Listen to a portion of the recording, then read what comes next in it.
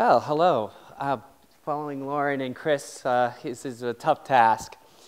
Uh, so, about seven years ago, my life was pretty frantic. I had this little company that made instrumentation and uh, material testing instrumentation. I was traveling a lot. So, I'd sp- spend a week and uh, a month in Germany, a week every five weeks in J- Japan, and then some really uh, life changing events happened to me. Uh, the first was I had a little girl, a, a daughter. And the second um, was that I was finishing my PhD. And the third was that I was diagnosed with uh, early stage esophageal cancer. And uh, I was going through chemotherapy, through treatment. So all of a sudden, this life where I was traveling all the time uh, wasn't possible. So I really knew that I could focus on finishing my PhD and on my dissertation. Strangely, instead of looking out into the world, I started to really focus on this emerging, exciting field of nanotechnology, and at the time, how it related to material science. You'll see by what I'm going to talk about today that it kind of comes full circle, strangely, to the esophageal cancer as well.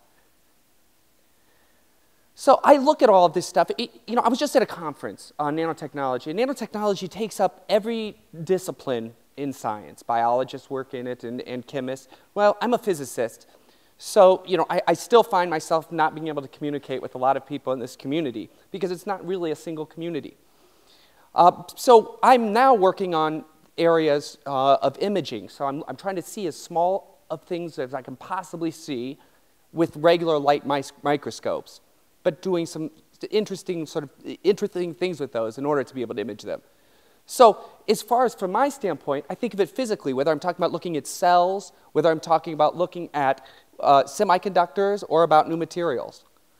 but my background, what I really, what I teach at Columbia University and what I really have a, a passion for and a, a background with for polymers and, uh, and uh, liquid crystals and plasmas and these kind of things that are, are a part of everybody's life now. Seven years ago, we're just starting to be. Uh, so th- this is what I was interested in. And, but in order to be able to really look at new things, you could no longer just go into a lab and look with a standard microscope. You're talking about looking at features that are in the nanometer range, so billionth of a meter. So things that I was interested in were about 100 nanometers in size. And so, you know, I had to figure out a, a, a way, and at the time, there wasn't a lot to figure out. We were stuck with low megapixel cameras even seven years ago. We didn't have terabyte storage. There were a lot that we don't have. We didn't have good bit depth, so you couldn't take incredibly good digital images. So a lot of things that you can do now couldn't be done then. So I came up with a mathematical way of using any type of device that has a sensor to see things that are smaller. And just to bring this a little bit further, so there's my, my little girl when she was only five. But the idea of what, we were try- what, what I was trying to do, and th- at this point, this is even, even up until three years ago, uh, this is all we could do, was theoretically deblur an image, and then by, by moving very small steps into something that we know what it looks like, be able to resolve that blurry image into something that you would never be, wouldn't be able to see before. Uh, and so this obviously wasn't taken with a microscope, so it was a reverse process. Now, due to improvements in technology that I've been lucky enough to see, we're able to actually start with the, the blurred image and, and make it into something crisp. So, uh, what we're going to talk about today is the a certain type of not so much nanotechnology, but the requirement of seeing in the nanoscale. So, say looking into the nano world, and we're going to talk about this in terms of something called bioscaffolds, and not just regular bioscaffolds, if you have any idea what the, those are, but about actual regenerative medicine. So, taking and growing organs from other materials and then having the, that organ that you've grown remain after you're finished. And so there are two different ways to do this. There's one which is called extracellular matrix, which we'll talk about, and the other is using silicone rubber. So, silicone rubber to grow body parts. Uh, a bit of a, a, strange concept, but one that is actually picking up. If you look at this chart, you know, these are what I would say were futuristic ideas, even a few years ago. Well, laser surgery has been going on for a while. But if you look at this curve of regenerative medicine, it's really starting to take off. Now, take off doesn't mean that everybody here, certainly there's probably nobody here with a regenerative organ yet. But that, that won't be true um, in a matter of years. Um, we also have synthetic biology there as a rapidly growing field that didn't even exist when I was starting the work that I, am doing in nanotechnology. So if you were to look at a super resolution image of extracellular ma matrix, now what extracellular matrix is, in the case of synthetic, uh, in the case of regenerative medicine, it's usually a pig stomach that is taken and cleaned in a very rigorous process to get rid of all of the cells that were originally with the pig. And when you do that, you can use it to attach other cells to it in order to make new organs. Now, if you look at uh, super resolution of this, you'll see that it looks like this felt-like structure. And that structure is necessary because that's where those are all going to be binding sites for the new cells, so stem cells that we're going to seed it with. And once you've done that, you do something, you put it in something called a bioreactor, which is just an environmental conditioning um, oven type machine, and you form it into a shape you want. And that shape that you'll see right there is an esophagus, uh, the, the one over to the left. So I told you a little bit about this, and I have to give credit because uh, it's going to sound like I'm talking about something I had anything to do with. The only thing I'm doing is the imaging, which then hopefully helps create faster, better ways of doing this. But the real work on extracellular matrix is done at the McGowan Institute, which is associated with Pittsburgh uh, University Hospitals. And the, the, the, part of the esophagus that we're concerned about is the epithelial layer, so this, this inner layer. And the way Dr. Turner at McGowan Institute says is they go in with an endoscope with kind of a hook on the end, and they pull it out, the epithelial layer, and it's like pulling a, a sock inside out. Uh, and I've seen videos of this, and it, it really is. And, that, and it's actually that quick and that simple, uh, that part of it. And so the cancer I had, for instance, was a type of cancer that had just penetrated the epithelial layer. So this is theoretically something that could have been done on me, but at the time didn't happen. But it has actually been done on five patients. So several animal models it's been done on, and it works very well. But this is pretty amazing stuff. So this, these are five patients at the University of Pittsburgh who had a condition called Barrett's esophagus. Barrett's esophagus is uh, usually a precursor to, to can be a precursor to esophageal cancer. So they did this process of ripping it out and putting a new esophagus in place. So they're, what they're doing first is they put this scaffold, which is that scaffold that I showed before. And you'll see here what that was done with ECM.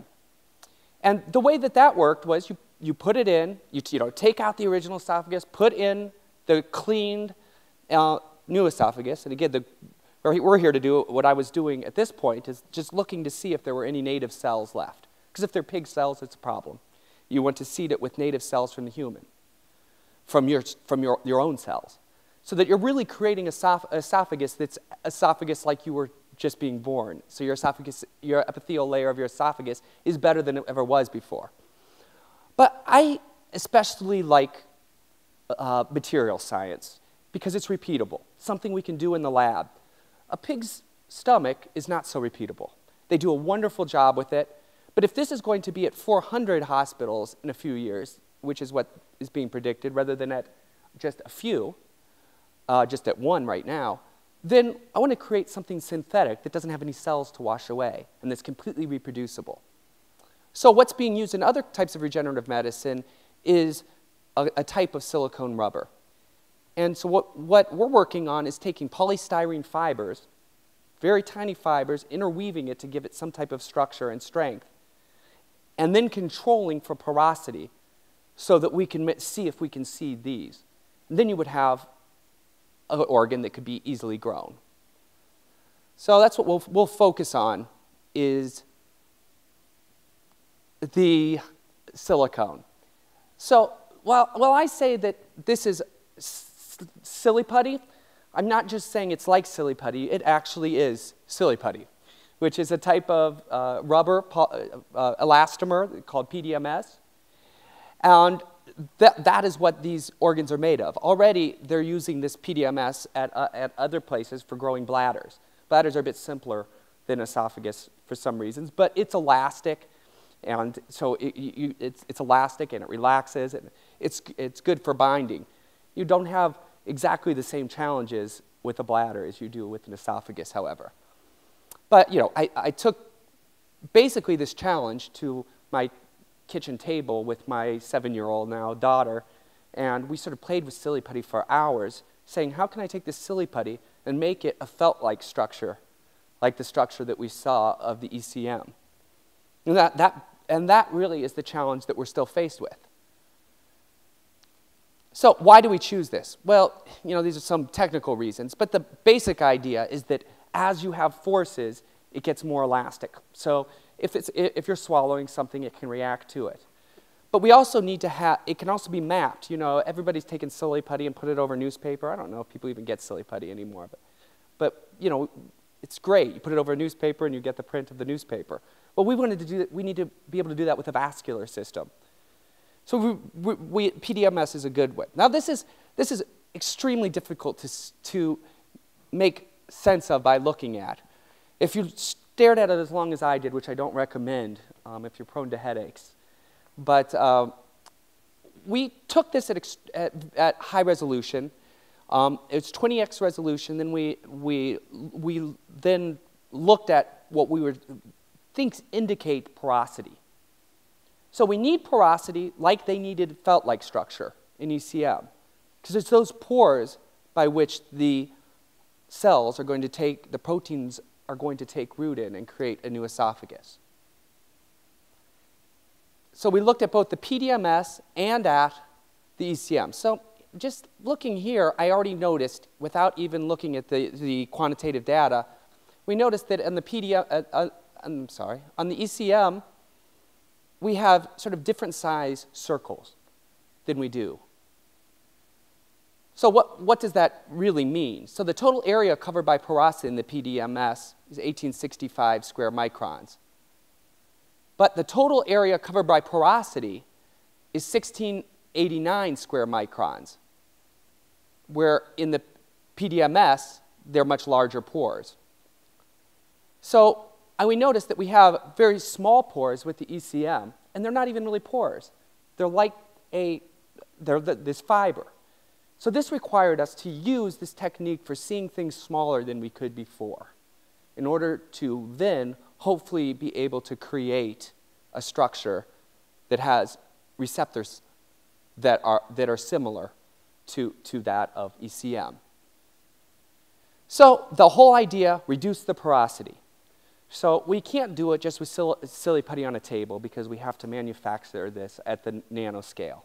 So we work it at different things, but the first thing to understand is what actually needs to be accomplished. So if, if you look at this, uh, so per, per, per, the, the reason why we care about porosity, I started to, to have to think about this. Why do we even care? So we understand that it provides for binding sites, but why do you care if it's a big hole or a small hole? Well, what happens is these cells get, while they're getting seated on the esophagus, they initially attached to the, through a protein called fibronectin attached to the bioscaffold. So you're reliant on the scaffold to give it form, to give it shape. But then over time, they bind to each other in a much stronger way, and then it breaks apart the scaffold and you digest the scaffold. So in order to write, have just the right elasticity, you need to have just the right pore size so that the fibronectin knows to bind to each other. And this is, this is a micrograph of that. And you, you see this, how, how, all the different sites at which they need to come into contact. Um, and those will eventually combine to each other in these lines at which we'll then get rid of it. So, in order to really get this through, I always say we try to move from what is just in a laboratory, which is exciting new research, to be something that you can use on a mass scale. And in order to do that, we need to use super resolution. So, this work that I was starting to work out theoretically seven years ago actually becomes really useful now that we're trying to look at something as small as, as proteins binding onto pores of a polymer. So that's the first thing we need. Then we need to be able to know exactly what size those pores are and be able to create a map of the system that we want to create. And so ultimately, while this seems not to be a very grand thing, this discovery we made was that small pores in PDMS allow for that expansion. And just by making that little discovery, we're taking this from the lab and we'll be going into surgery with it. And, that, and this is an ex- exciting discovery. It starts with the esophagus and will eventually work for every organ so that my daughter will never have to worry about if she gets esoph- esophagus cancer not being able to travel around the world for a while. Thank you.